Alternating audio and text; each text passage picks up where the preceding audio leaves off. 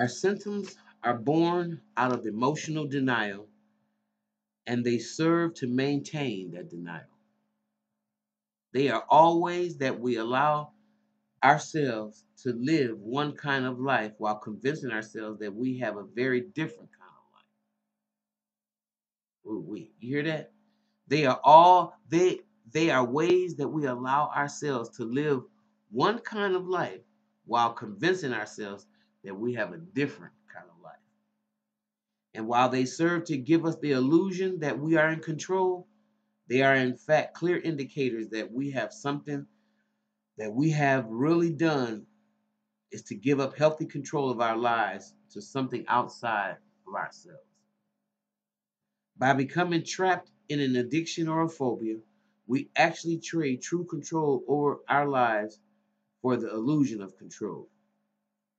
It is this illusion of control that makes giving up our symptoms so frightening. The sex addict truly and sincerely believes that he or she gives up unhealthy sex, life will crumble and they will be in chaos. The relationship addict, most often addicted to a person who is himself an addict, sincerely believes that if he or she tries to change in healthy ways, life will fall apart.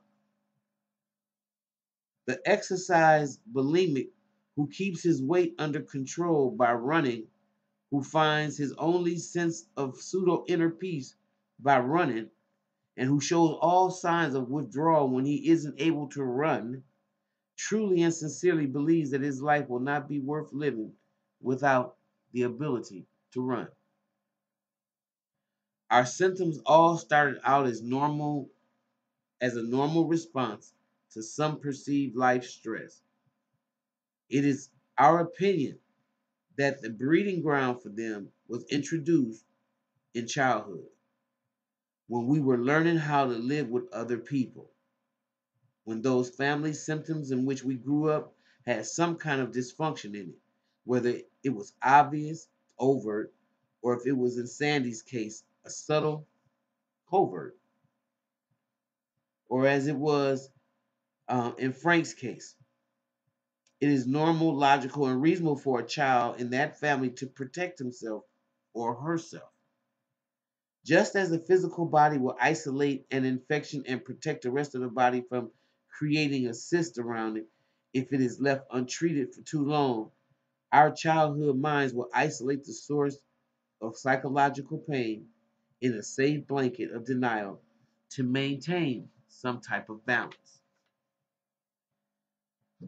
These symptoms form as a as a, way of protecting us from pain. Because as children, we didn't have any power to remove. From the early beginnings of denial grows a pattern of splitting ourselves into like almost two people, like Sandy did. She was competent, high achieving um, on the outside, and a frightened, hurt little lost child in the inside. The longer this dysfunction went untreated, the more adept she became to deny it and her true feelings. And the more we deny our feelings, the worse we feel. And so our symptoms are about the denial of the feelings too. We shut off the hurt and the fear. We bask in the praise of outsiders who can only see the public image that we want to present. We take pride in being the strong one or the rebel or the cutie pie, and all while we are dying inside because we feel that no one really knows who we are. And they probably don't.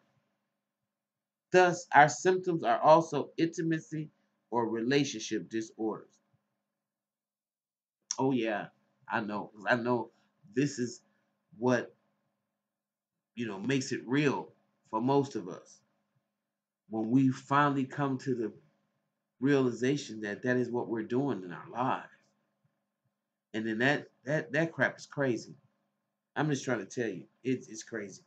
By supporting our denial and by helping us to maintain our family secrets they also keep us from ever getting close to anyone else in healthy ways We always have to keep our guard up in the hopes that no one will find out what's really inside, which means that our symptoms are also about shame.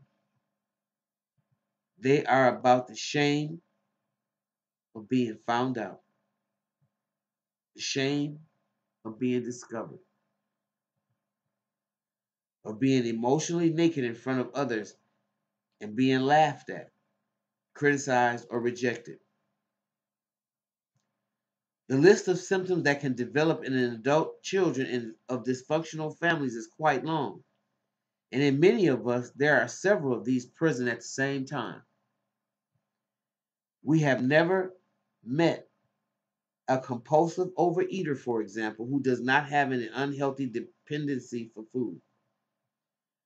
We have rarely seen a spouse of an alcoholic who is not literally addicted to the relationship with their spouse, who is not compulsive in several other areas of life, and who does not have an unhealthy dependency on other people or things, and who does not have problems with depression. Okay? Those are those, those are the symptoms, you know, of a person that's you know attracting and they're with an alcoholic. Okay, that, that they kind of like go together. Hope I'm being clear.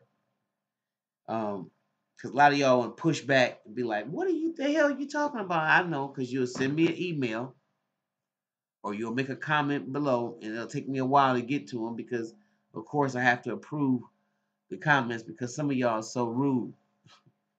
y'all so rude.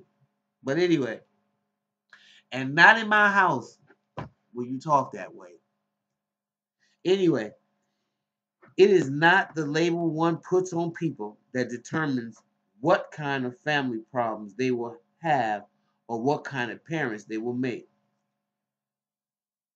It doesn't matter to the child whimpering in her bedroom after being screamed at by her frustrated, lonely mother whether or not her mother is labeled a relationship addict, a codependent, or a compulsive overeater. What matters to the child is that the fact mom and dad aren't happy.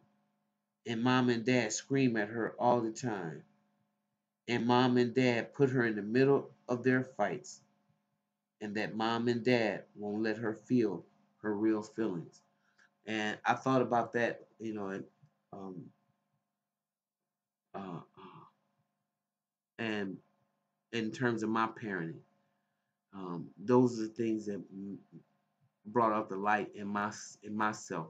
I thought about things like, um, you know, how many times have I hollered at my child, and it wasn't my child's fault. I was frustrated about something totally different, and that child doesn't know the difference, and they're so wounded just by thinking that they disappointed me. And hopefully, I'm making a difference in doing different things different now that I'm the grand but it's it's it's it's something that you have to be cognitive of because if you're not you if you don't you'll repeat the same patterns. If my grandbaby hears me fussing she'll already feel upset and she'll come right away and she'll want to know are you up my granny you upset? Are you angry? Um and i have to i find i make it my responsibility to stop her and say listen no Granny is not upset at you. I'm a little frustrated because the dog ate up the shoe or whatever it is that it is.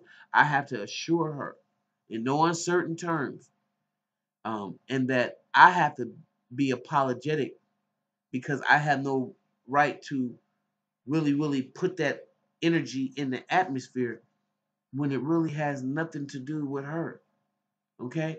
And so, but if I'm not cognitive of that, then look how much, how many times of a day we going through the day yelling and fussing. And with children in the house, how that impacts their vibratory environment is something that we have to be mindful and cognitive of. We really do.